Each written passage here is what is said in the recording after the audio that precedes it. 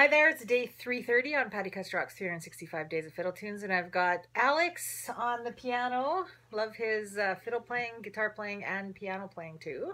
And because it's American Thanksgiving, I was going to do Turkey in the Straw, and then I realized I've already done it way back when. So uh, we're going to do the next best thing and do the chicken reel. One, two, one.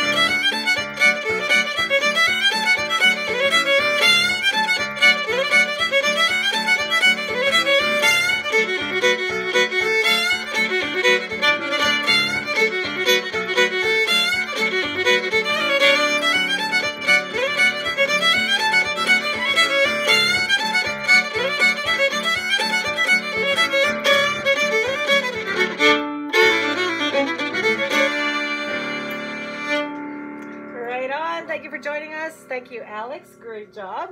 And uh, happy Thanksgiving to all our American friends. Uh, we'll see you tomorrow for day 331.